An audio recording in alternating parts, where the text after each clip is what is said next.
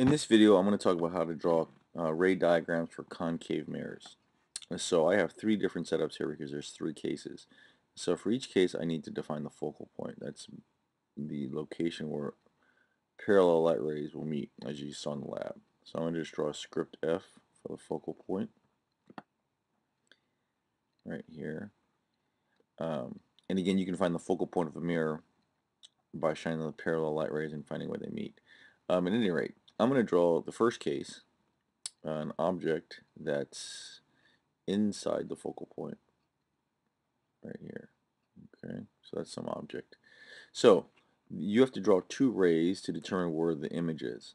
Okay, so first one is a light ray that's parallel to the principal axis, and this this line right here, P, is called the principal axis. It's the axis that's goes to the focal point and is uh, goes right to the mirror at the diameter of the mirror.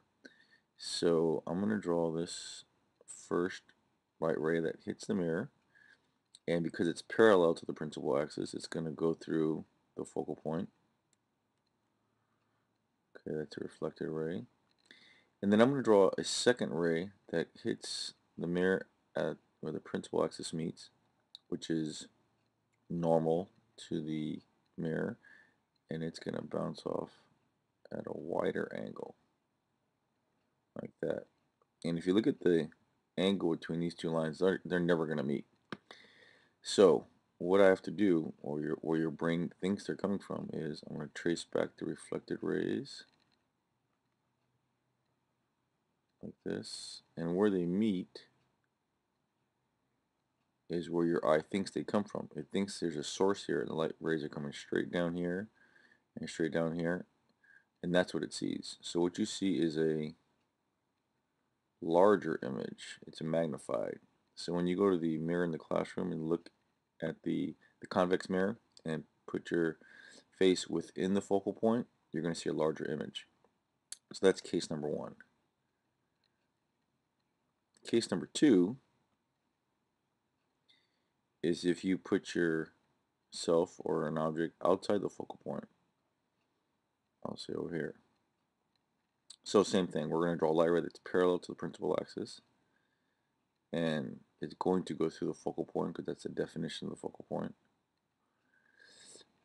And then we're going to draw a light ray that hits the mirror at the principal axis right here and bounces off. And you'll notice that these light rays meet here on this side of the mirror, same side of the mirror, and if I draw an arrow, an upside down arrow, you can see the arrowhead right here, it's actually upside down and it's smaller. This is larger. That's why when you stand far away from a convex mirror or look in a spoon, let's say at home, your image appears upside down if it's farther away. The third case is if I put the object at the focal point.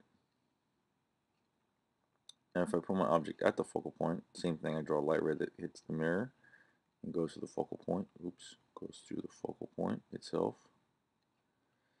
And then I'll draw another line that hits the mirror at the principal axis point and bounces off.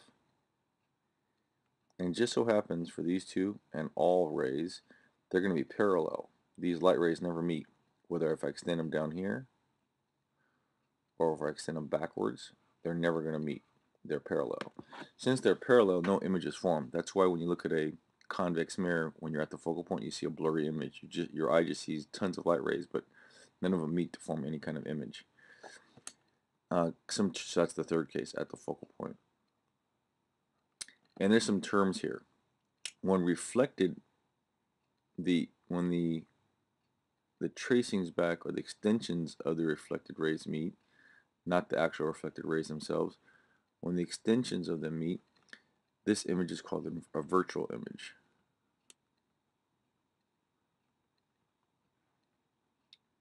Virtual because it's in the mirror. You can't actually touch it.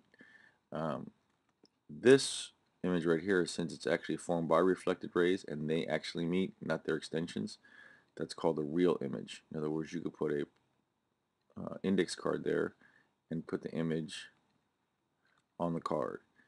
And here, since they never meet, you have no image.